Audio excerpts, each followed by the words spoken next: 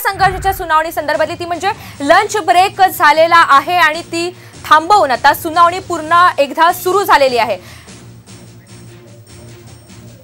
Lunch break झालेला होता काही वेळापूर्वी आणि ती थांबवून आता पुन्हा एकदा सुनावणीला सुरुवात झालेली आहे. सत्ता संघर्षावर ही महत्वाची सुनावणी पार पडते.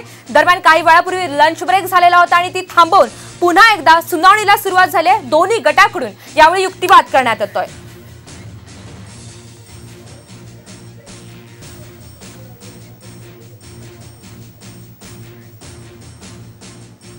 तर या बातमीमध्ये थोडीशी अपडेट समोर येते. लंच ब्रेक थांबवण्यात आलेला आहे आणि सुनावणी त्यानंतर सुरू होतीये. सिंघवी यांच्याकडून सध्या युक्तिवाद सुरू आहे.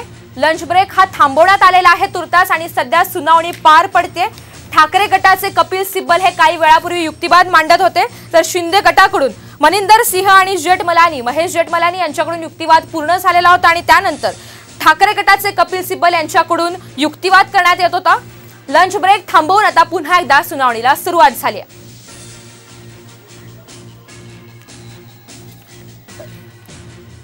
आताची ही सगळ्यात मोठी बातमी लंच ब्रेक थांबवून अर्थात हा पुढे ढकलून पुन्हा एकदा सुनावणी सुरू करण्यात आलेली आहे. लंच ब्रेक काही वेळासाठी हा थांबवण्यात आलाय आणि पुन्हा एकदा सुनावणी ही सुरू आहे.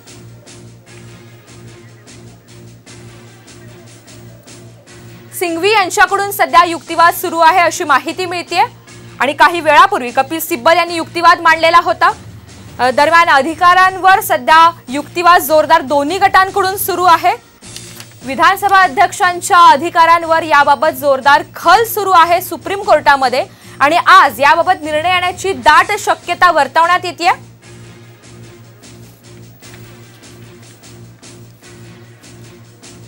एक ते दोन या कालावधीमध्ये तु- शक्यतो सुप्रीम कोर्टाच्या लंच ब्रेकचा वेळ हा होतो आणि तशी शक्यता असते. मात्र हा लंच ब्रेक आता थांबवण्यात आलेला असून ही सुनावणी सुरू करण्यात आलेली आहे. जी सुनावणी आहे ती सध्या कंटिन्यू सुरूच आहे.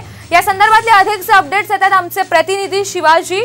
शिवाजी काय अपडेट्स आहेत? सुनावणी सुरू आहे. दोन्ही गटांकडून नेमका काय युक्तिवाद सुरू आहे?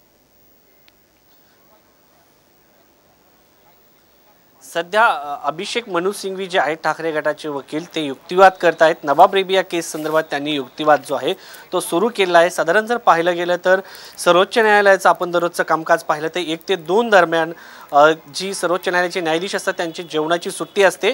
मात्र आज दोन वा एक वाजून नऊ मिनटं झालेले आहेत. तरीही हा युक्तिवाद जो आहे तो सुरू आहे. त्यामुळं आज या संदर्भात कुठला तरी निर्णय घेण्याच्या पावित्र्यामध्ये जे न्यायाधीश आहेत ते दिसताना पाहायला मिळत आहेत.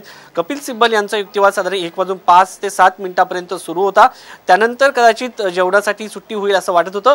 मात्र अभिषेक मनु सिंघवी यांचा रिजॉईंडर युक्तिवाद आता सुरुवात झालेली आहे आणि ते या सगळ्या संदर्भात आता युक्तिवाद करताना पाहायला मिळत आहे त्यामुळं महाराष्ट्राच्या दृष्टीने महत्त्वाच्या असलेल्या या केसच्या संदर्भात आज कुठला तरी तोडगा निघण्याची शक्यता आहे. कारण आज पुन्हा एकदा सगळं जर पाहिलं तर रिजॉईंट युक्तिवाद पूर्ण करण्याच्या पावित्र्यात न्यायाधीश असल्याचं पाहायला मिळत आहे.